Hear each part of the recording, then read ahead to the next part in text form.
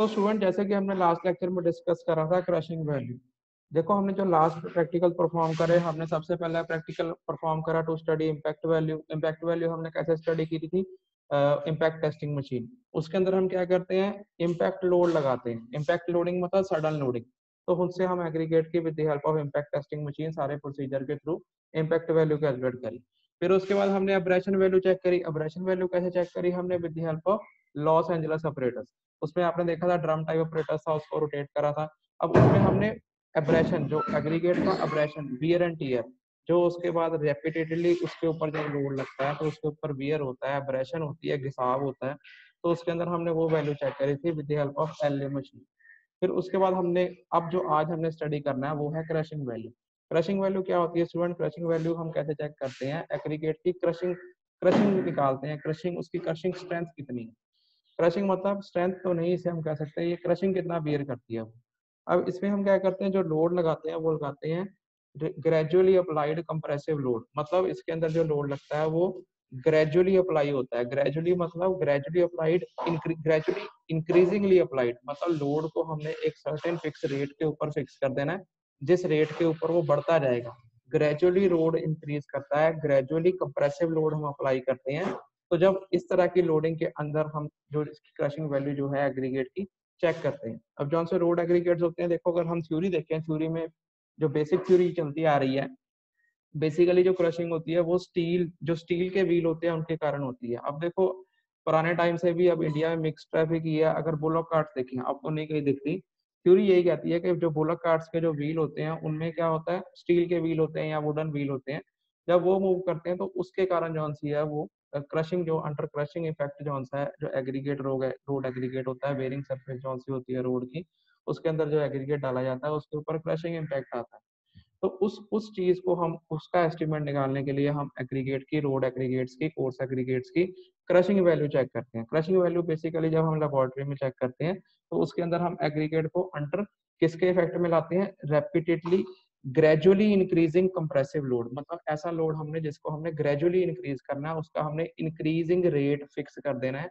इस टेस्ट में जो हम रेट फिक्स करते हैं, वो है फोर टन पर मिनट याद रखना, चार टन पर मिनट चार टन पर मिनट हो या चार किलो न्यूटन पर मिनट हो। इसका मतलब ये है, एक मिनट में हमने कितना लोड लगाना है with help of compression testing machine चार टन का लोड लगाना है। एक टन एक किलो न्यूटन के बराबर होता है। इसका मतलब ये है with the help of compression testing machine हम ये भी कह सकते हैं कि हमने four kilo newton per minute का लोड लगाना है या फोर टन पर मिनट का लोड लगाना है, जैसा मर्ज़ी हम कह सकते हैं। तो इसके, इससे हमें पता लगता है कि हम जो लोड लगा रहे हैं, वो ग्रेजुअली इंक्रीजिंग है। उसका रेट यही है, एक मिनट में चार टन लोड ही लगना है। तो इससे हम क्या करते हैं एग्रीगेट की क्रशिंग वैल्यू को एस्टिमेट करते हैं। ये, अगर आप इसे कहो कि स्ट्रेंथ स्ट्रेंथ नहीं स्ट्रेंथ तो आप कहते हो लोड पर यूनिट एरिया पर इसकी क्रशिंग वैल्यू होती है, जिसको हम परसेंटेज में कैलकुलेट करते हैं और हमारे पास स्टैंडर्ड चार्ट्स एंड टेबल्स होते हैं, जिससे हम अंदाज़ा लगा लेते हैं। जनरली ये कहते हैं कि अगर सपोज़ कर लो आपने कंक्रीट की पेमेंट है वेरिंग सरफेस में मतलब रिजिड पेमेंट आपने पढ़ी होगी रिजिड पेमेंट पे कंक्रीट की पेमेंट है तो उसमें जो एग्रीगेट है, उसकी क्रशिंग वैल्यू तीस से तीस से देखो, तीस से ज़्यादा नहीं होनी चाहिए। अब देखो, एक और बात, जितनी क्रशिंग वैल्यू कम होगी, उतनी ही क्रशिंग को बियर करने की क्षमता ज़्यादा है। मतलब आप कह सकते हो जितनी क्रशिंग वैल्यू एग्रीगेट की कम होगी, उतना ही वो स्ट्रॉन्ग है। अगर आपको किसी एग्रीगेट की वैल्यू आ रही है पंद्रह परसेंट क्रशिंग वैल्यू और किसी की आ रही है तीस परसेंट क्रशिंग वैल्यू तो जो पंद्रह परसेंट वाला एग्रीगेट है, जिसकी क्रशिंग वैल्यू पंद्रह परसेंट आ रही है, वो ज़्यादा स्ट्रॉगर है एज कंपेयर टू तीस परसेंट वाला in terms of crushing clear है? जितनी क्रशिंग वैल्यू कम होती है, उतनी ही उसकी क्रशिंग में उस बियर करने की क्षमता ज़्यादा होती है। क्रशिंग में उसकी उतनी ही स्ट्रेंथ ज़्यादा होती है, जितनी कम होती है। अब अब सपोज़ कर लो अगर एग्रीगेट अगर ये भी एक चार्ट है कि आप, आपको अगर चार्ट आपकी बुक में मेंशन होगा, आप उस पर देख लेना, अगर जो वेरिंग सरफेस होते हैं, जो बिटोमिनस के वेरिंग सरफेस होते हैं, उनमें जो एग्रीगेट होता है, उसकी जो सी क्रशिंग स्ट्रेंथ जो सी है, वो वो 40 तक मैक्सिमम रखी जाती है। 40 से ऊपर नहीं होनी चाहिए। ऐसे ही जो अंडर लेयर्स होती हैं, जो सबग्रेड में सबग्रेड तो सॉरी सबग्रेड में सॉइल होती है जीएसबी हो गया ग्रैनुलर बेस हो गया बेस फोर्स हो गए डब्ल्यू रोड होगी उसके अंदर जो है वेरी करती है वहाँ पे क्योंकि स्ट्रेसेस डिस्ट्रीब्यूट ज़्यादा हो जाती है स्ट्रेसेस कम आते हैं तो वहाँ तक चालीस पैंतालीस परसेंट तक भी क्रशिंग वैल्यू जो है, वो परमिसिबल रहती है। ये स्टैंडर्ड चार्ट्स होते हैं जिससे कि आप अंदाज़ा लगा लेते हो कि आपके एग्रीगेट की क्रशिंग वैल्यू क्या आपका एग्रीगेट इस क्रशिंग वैल्यू का एग्रीगेट इस लेयर में डलने के लिए सूटेबल है रोड कंस्ट्रक्शन में तो आप उससे अंदाज़ा लगा लेते हो कि इतने परसेंट आ रही है तो इस लेयर में डल सकता है, इतने परसेंट आ रही है तो ये जीएसपी में ग्रेनुलर सब बेस में डल सकता है, इतने परसेंट आ रही है तो तीस परसेंट से कम आ रही है तो ये कंक्रीट की अगर रिजिड पेमेंट बना रहे हैं, उसमें यूज़ हो सकता है एग्रीगेट तो इससे हम क्या करते हैं कंपैरिजन कर लेते हैं और अपने रिमार्क्स रिज़ल्ट निकाल देते हैं कि ये एग्रीगेट इस लेयर में यूज़ करने के लायक है can be is suitable to use in this very layer clear है? अगर हम थ्योरी की बात करें। क्लियर है सबको ये क्रशिंग क्या होती है? इसके बारे में किसी ने कुछ पूछना हो तो पूछ लो। नहीं सर। और भी बच्चे हैं स्टूडेंट्स अगर किसी ने कुछ पूछना है तो मुझसे पूछ लो।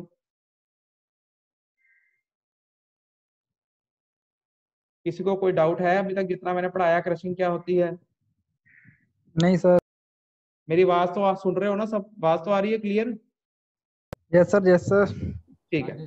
तो अब स्टूडेंट देखो सबसे पहले मैं आपको ऑपरेटर्स दिखा लेता हूँ। ऑपरेटर्स देखो ऑपरेटर्स में क्या है? ये आपके सामने ही है ये ऑपरेटर्स सबको मेरा कर्सर दिख रहा है ना? जूम करो कि ठीक है? कर दो सर जूम कर दो तो थोड़ा सा जूम करें। थोड़ा सा कर इसमें हाँ यहाँ से होगा। हाँ जी। अब ये देखो दिखा रहा हूँ एक मिनट। अभी डायग्राम हाँ जी। हाँ। अब अब इसके अंदर देखो क्या होता है, इसके अंदर क्या होता है, एक सिलेंडर होता है, ये सिलेंडर है। सिलेंडर सबको दिख रहा है सिलेंडर आपको पता है, ये सिलेंड्रिकल शेप में होता है, ये ओपनेबल होता है मतलब दोनों साइड से ओपन होता है। ये ऊपर से भी ओपन है सिलेंडर ये नीचे से भी ओपन है। अब इस सिलेंडर का इंटरनल डायमीटर कितना होता है 15.2 सेंटीमीटर इसके नीचे एक स्क्वायर बेस प्लेट लगती है स्क्वायर होती है, चौर, चौरस होती है ये। इसकी थिकनेस आपको दी हुई है 63 या पॉइंट सिक्स थ्री सेंटीमीटर अब इस सिलेंडर ये सिलेंडर जो सा ओपन है। मतलब इस बेस प्लेट से क्या है, ये सिलेंडर जो सा है, वो डिटैच हो सकता है मतलब निकल सकता है। सिलेंडर ऊपर से भी खोला हुआ है, यहाँ से, और सिलेंडर नीचे से भी खोला हुआ है। यहाँ पे की शो नहीं करी। जब ये लगता है, यहाँ पे लॉक एंड की अरेंजमेंट होता है, जिसके कारण सिलेंडर इससे अटैच हो जाता है, वो यहाँ शो नहीं किया गया। अब ऊपर देखो, ऊपर क्या है, इसके ऊपर क्या है, ये पिस्टन है। पिस्टन ये देखो, ये पिस्टन पिस्टन क्या होता है? देखो, यहाँ पे ऊपर क्या लगा? प्लंजर लगा। प्लंजर के ये हैंडल लगा अब प्लंजर के नीचे क्या लगा है? एक फ्लैट पिस्टन है। ये जो पिस्टन है, ये भी जो सा है गुलाई में है। क्योंकि देखो, इस सिलेंडर के अंदर हमने क्या करना है? इस प्लंजर को इंसर्ट करना है पिस्टन को इंसर्ट करना है। तो सिलेंडर जो है, गुलाई में सिलेंड्रिकल है सेक्शन टॉप व्यू में। तो ये पिस्टन भी जो है, वो सर्कुलर होता है पिस्टन की जो सा डायमीटर होता है 15 सेंटीमीटर अब देखो सिलेंडर का डायमीटर 15.2 सेंटीमीटर है, तभी उसके अंदर 15 सेंटीमीटर का पिस्टन इंसर्ट होगा। अगर बराबर होगा तो फंस जाएगा, बहुत छोटा होगा तो गिर जाएगा।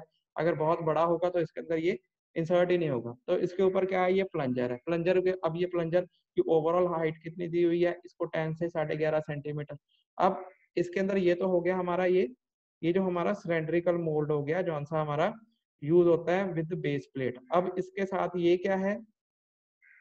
ये क्या है? ये सिलेंड्रिकल मैयर है. ये एक और सिलेंड्रिकल मैयर है. ये सिलेंड्रिकल मैयर है. इसका मतलब यही है कि इसके अंदर सिर्फ़ हमने सिलेंड्रिकल मैयरमेंट करनी होती है. आपको मैं वीडियो दिखाऊँगा, आपको पता लगेगा. इसके अंदर हमने सैंपल फिल करना होता है. तो इसका भी ये सिलेंड्रिकल शेप में होता है. ये डायमीटर गोलाई में 11.5 सेंटीमीटर इसका डायमीटर होता है और 18 सेंटीमीटर जो होती है, वो क्या होती है? इसकी ओवरऑल डेप्थ होती है. अब इसके अंदर हम क्या करते हैं?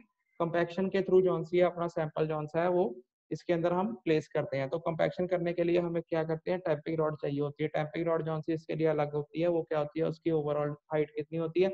45 से 60 सेंटीमीटर और इसका डायमीटर कितना होता है? 1.6 सेंटीमीटर डाया होता है। एक एंड इसका जो सा राउंडेड होता है, दूसरा एंड जो सा फ्लैट होता है। जो राउंडेड एंड होता है, उस गोलाई वाले एंड से हम क्या करते हैं? इसकी टैंपिंग करते हैं जब हमने टैंपिंग स्ट्रोक देने होते हैं। क्लियर है सबको ये? डायग्राम क्लियर है सबको कि ऑपरेटर्स क्या होता है इसके अंदर? हाँ जी सर। ये क्या है? ये इसके अंदर मेन जो हमारा मेन मोल्ड है इसके अंदर ऊपर क्या प्लंजर फिक्स हो जाता है? ये सिलेंड्रिकल मैयर है ये टैंपिंग रॉड है। अब इसके अलावा अब ये पढ़ लो जरा एक बार आपको बता देता हूँ फिर फिर स्टील सिलेंडर होता है ये स्टील का सिलेंडर है। Steel cylinder with open ends internal आया 152 यहाँ गलत लिखा हुआ 252 लिखा हुआ था यहाँ 152 आना एक आपकी बुक में सही कर लेना। एक सौ बवंजा एम एम इसका इंटरनल डाया होता है यहाँ पंद्रह पॉइंट टू सेंटीमीटर एक ही बात है। नीचे स्क्वायर बेस प्लेट होती है, ऊपर प्लंजर लगा होता है प्लंजर का इंटरनल डाया जो उसके पिस्टन का इंटरनल डाया कितना होता है उसमें डेढ़ सौ एम होता है, यहाँ पंद्रह सेंटीमीटर यहाँ लिखा हुआ है पंद्रह सेंटीमीटर अब इसके अंदर, अब सेकंड देखो सिलेंड्रिकल मैयर अब ये इसको बोलते हैं सिलेंड्रिकल मैयर इसका जो सा इंटरनल डाया है, इसको यहाँ ग्यारह पॉइंट पाँच सेंटीमीटर कह लो, यहाँ एक सौ पंद्रह एम एम कह लो, और इसकी हाइट एक सौ अस्सी एम एम कह लो, यहाँ अठारह सेंटीमीटर कह लो। फिर उसके बाद टैंपिंग रॉड होती है, सारा कुछ स्टील का ही है स्टील की टैंपिंग रॉड है, उसके अंदर भी क्या है, उसका 16 एम एम डाया है, ये 1.6 सेंटीमीटर डाया लिखा है, और 45 टू 60 सेंटीमीटर या एम एम में साढ़े चार सौ छह सौ एम जो है, इसकी डेप्थ होती है। उसके बाद स्टूडेंट देखो, इस इस एक्सपेरिमेंट को परफॉर्म करने के लिए हमें कंप्रेशन टेस्टिंग मशीन भी चाहिए होती है। आप सबको पता है, आप सबने देख रखी है कंप्रेशन टेस्टिंग मशीन आपने बहुत सारे एक्सपेरिमेंट करे होंगे, जैसे ब्रिक का हो गया ब्रिक के आपने जब अपने क्रशिंग वैल्यू